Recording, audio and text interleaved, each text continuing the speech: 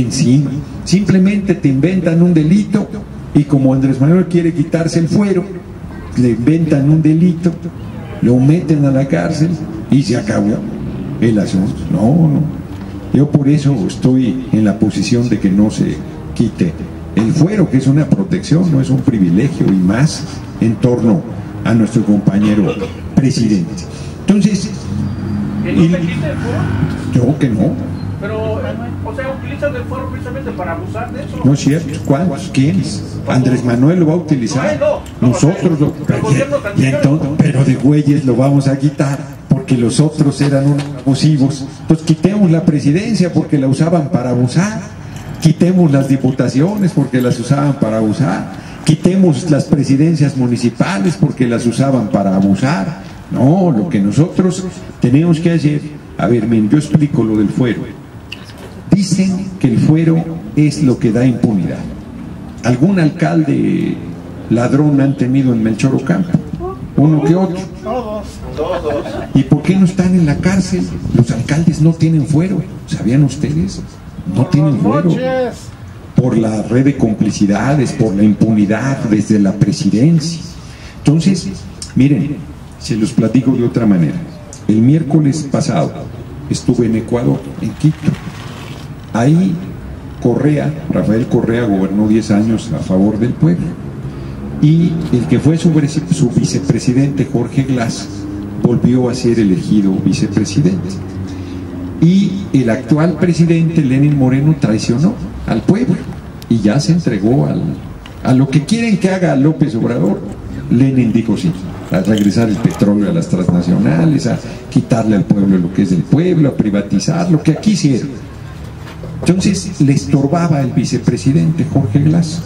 Le inventaron un delito de corrupción. Y Jorge Glass tenía fuero. Y fue con los diputados, tenía mayoría el movimiento y les dijo, no, no, quítenme el fuero, yo no, no tengo nada que ocultar, yo soy un hombre honesto. Eh, Llevo un año, cuatro meses en la cárcel. Le inventaron el delito. A Lula, pre- expresidente Lula, le inventaron un delito de corrupción y lo sacaron de la carrera presidencial. Bueno, a López Obrador, jefe de gobierno en el 2004, lo que lo salvó fue el fuero y el apoyo del pueblo. Acuérdense, le habían inventado un delito y él, gracias al fuero, pudo defenderse, pudo ir a la Cámara y lo oímos todos y dijimos, no, es una injusticia lo que estos cabrones quieren cometer. Y hoy el compañero presidente dice, hay que quitar, no, yo me quito el fuero igual que todos. No, no, cabrón, no te lo quitas, te lo dejamos, no. O sea, le inventan un delito como ahora que estaba ya de presidente electo, ¿se acuerdan del fideicomiso de apoyo a los damnificados del sismo que hizo? Y dijeron que se habían desviado el dinero, que lo habían usado en las campañas, eso llama corrupción pues lo hubieran metido a la cárcel. Y ahora que los jueces están encabronados porque decimos que ganen menos, van a ir a ofrecerles dinero o nomás porque están enchilados. Sí, sí, sí, le aceptamos una demanda contra el presidente López Obrador. Dicen que es culpable y no tiene fuero y se va a la cárcel. Pero supone que también van a cambiar a todo eso, ¿no? No, no, a cambiar ni madre, esos ahí van a seguir. Esos ahí van a seguir. Entonces, nosotros tenemos que eh, escuchar los argumentos, porque además en todo el mundo los presidentes tienen fuero. Ahí. Van a seguir. ¿Quién los quitó? ¿Quién los cambió? No, no, no los van a quitar. Y el propio presidente nos dijo el miércoles, yo no me voy a meter con ellos, yo ahí los voy a dejar. Porque si así lo andan acusando de que es un autoritario, de que no respeta la división de poderes, de que quiere dominar todos los poderes de la República, imagínense, los cambiamos. No, lo que tenemos que hacer, bueno, yo francamente creo que sí habría que cambiarlos. Yo creo que sí. Pero para que eso se dé, el pueblo tiene que presionar. El pueblo tiene que exigir, no, no, no, estos se van por corruptos, por abusivos, porque están haciendo las cosas mal.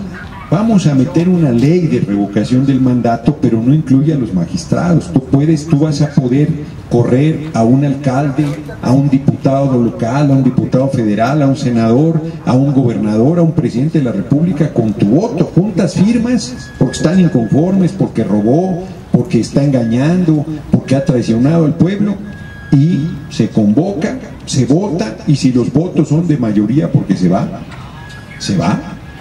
pero no incluye al Poder Judicial, porque el Poder Judicial pues, se supone que, no se supone, hay un equilibrio de poderes y el Poder Judicial es el responsable de estar encaminado a cumplir, pero pongamos que el Poder Judicial fuera honesto y que estuviera bien integrado y que estuviera sirviendo al pueblo.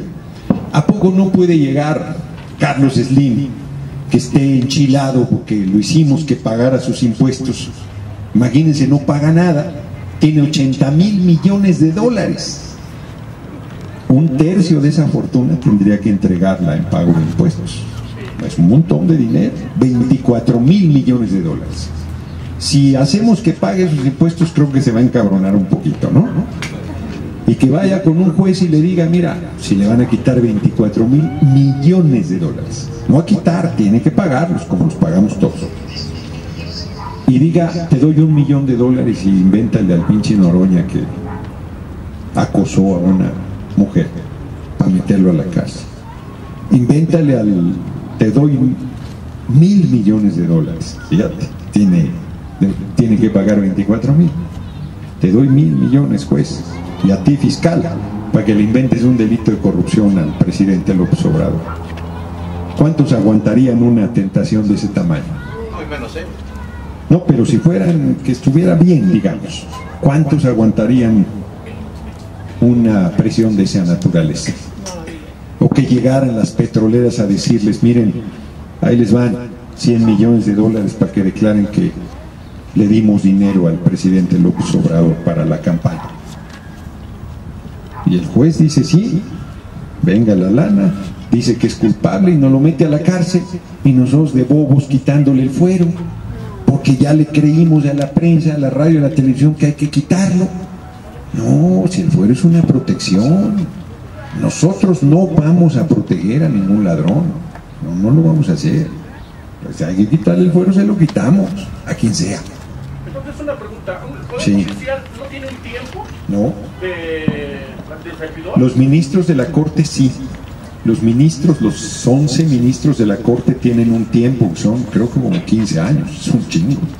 Este, solo va a salir uno ahorita y ya mandó una terna el compañero presidente. Él calcula, nos lo comentó, que pueden cambiar cinco en su sexenio, pero vas a cuentagotas. Pero los jueces esos son para toda la vida. Sí, entonces yo creo que hay que cambiarlos, yo comparto contigo. Pero la gente, fíjate, por ejemplo esto, no lo sabemos. Luego dicen, ¿por qué no va a meter a la cárcel López Obrador a estos ladrones? Él ha dicho, no, yo no voy a perseguir a nadie. Claro, si yo llego y me dicen, aquí hay cuatro botellas, y yo llego y hay tres, firma por cuatro. No, no, no, no, no, no, cabrón, yo firmo por tres y meto una denuncia de que falta una, porque yo no estoy recibiendo lo que ustedes dicen.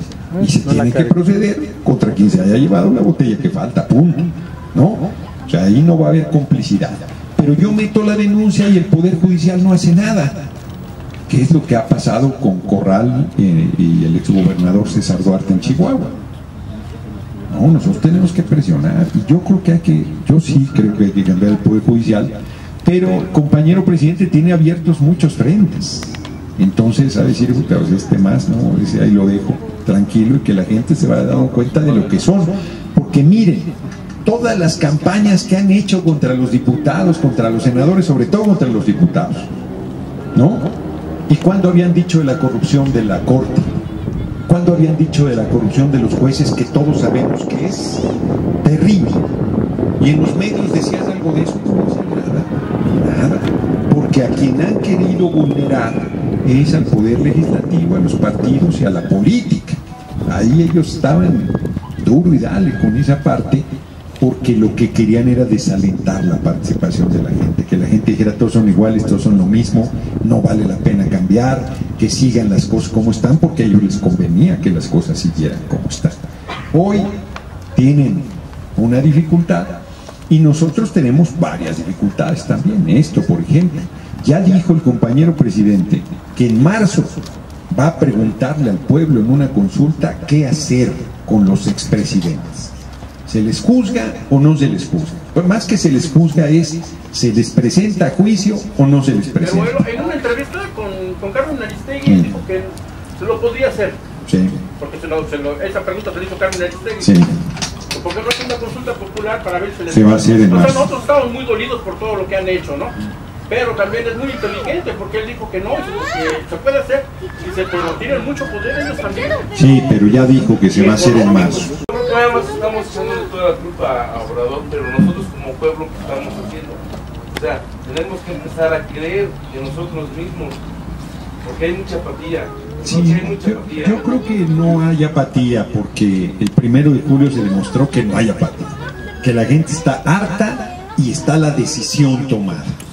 Nosotros, cuando hicimos apatía, lo que tenemos que hacer es con el ejemplo convocar a los demás. Si nosotros decimos hay que hacer esto, ¿y por qué no lo estás haciendo? No, pues es que nadie jala, pues hazlo solo, cabrón. Hazlo sola, demuestra. No, si es así. Yo no ando pidiéndole a la gente, yo he estado luchando toda la vida y no ando esperando grandes multitudes.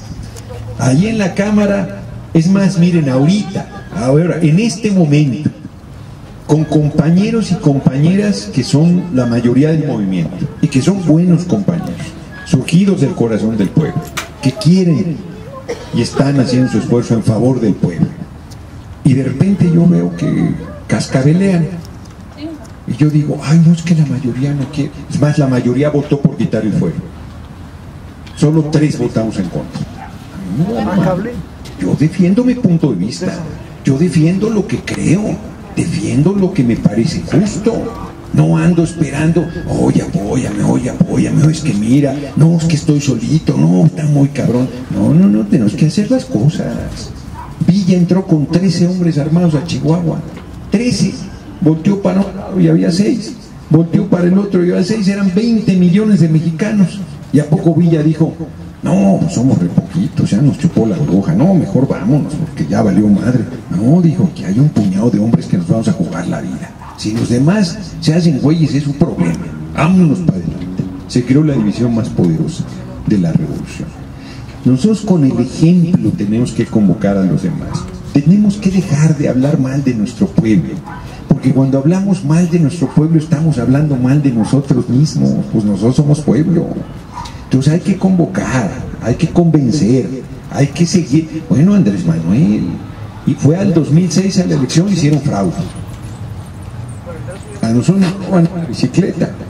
Y toda la vida, pinche bicicleta tan buena que era, cabrones, me la robaron y chingue, chingue, chingue ahí, ¿no? Toda la vida ahí lamentándonos de lo que nos robaron. Cabrón se reí y fue en 2012 otra vez a la elección y sacó más votos y le volvieron a hacer fraude. En 2013 se fue a luchar por defender Pemex y el petróleo le dio un infarto que casi lo mata. Y véanlo dónde está el cabrón. Y nunca dejó de recorrer y recorrer y recorrer, e insistir convocarnos a luchar. Eso es lo que nosotros tenemos que hacer. No desesperarnos, no maltratar a la gente. No, es que son unos huevones. No, pues, ¿a quién nos va a acompañar? No, no, es que son cobardes. Oh, pues tú eres muy valiente, pues enséñanos, cabrón, ándale. No, pues no, no, nosotros tenemos que convencer a la gente y tenemos que convencerla con el ejemplo, con el ejemplo. Es cierto, hay desconocimiento, hay temor, hay dudas, pero todo eso hay que enfrentarlo y hay que superarlo. Y yo creo que vamos a ir avanzando. En marzo que se haga la consulta, pues la gente va a decidir lo que aquí se está comentando. No, no, no juzguen los cabrones, no, vámonos contra ellos. Pues se va a poner brusco, pues que se ponga bien brusco. Pero sobre advertencia no hay engaño. Cuando veamos que vamos al encontronazo y que estén, ay, es que los mercados se pusieron nerviosos porque iban a meter a Salinas a la cárcel, pues que se pongan bien pinches nerviosos, nos vale madre, se va a la cárcel y vamos a presionar y vamos a exigir y vamos a insistir y que regrese lo robado y todo lo que estamos pensando, ¿no? Pero necesitamos del apoyo de todos porque es cierto que se va a poner brusco. Es cierto que no va a ser como tú dices de que, no, no, Andrés Manuel, no, no, no, es todos. Tenemos que tomar conciencia que vamos a un, a un conflicto, que no va a ser de que, ay, sí, y ya se van a dejar y no pasa nada. No, no, no. Cuando digamos tienen que pagar sus impuestos, se va a poner brusco. Cuando queramos recuperar lo que es del pueblo, va a haber tensión, va a haber dificultad. Y entonces lo que nosotros tenemos es que tomar conciencia de eso. Pero al final las cosas van a salir bien, se va a enderezar, porque, porque es necesario, porque las cosas no pueden seguir como están. Es terrible, hombre, que tú vengas aquí y estés ahí volteando. A ver, ahí está, mi hijo, sí, sí, no me debo distraer, cabrón. Eso no, antes no pasaba. Antes las puertas están ahí, vean, todo lleno de rejas, todas las pinches ventanas, que no son pinches, todas llenas de rejas. ¿No? Porque la gente dice, no, chingada, ¿no? No, aquí, allá y acullá y en todo el país. Es una tragedia, lo estoy comentando, vengo de Zumpango, tres muertos allí en un pueblo que seguro antes todo está las puertas abiertas, llegaba, vente a comer, ¿lo conoces? No, no lo conozco, pásale cabrón, aquí quien viene, mi casa es su casa, la gente hospitalaria, hoy es una pesadilla, hoy le pones tres pinches candados y le quieres poner otro, y de tomos le meten los cabrones y te dan baje con todo, y a veces son los mismos vecinos nuestros, son gente que no tiene oportunidad, están condenados a que se los chupe la bruja. Está muy difícil las cosas. Tenemos, por lo tanto, entre todos que hacer un esfuerzo y cambiar las cosas. Empezando por nosotros, efectivamente. Empezando por nosotros. Me dice alguien, ay, sí, ¿a poco? Ahora ah, van a ser honestos. No, pues honestos hemos sido siempre. La mayoría de la gente vive de su trabajo.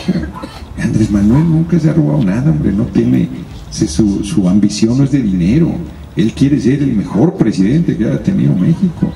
Hay que, hay que ayudarlo, lleva 15 días apenas, pero tenemos que ayudarlo a que al final sea el mejor presidente que haya tenido el país. porque eso va a querer decir que nos está yendo muy bien.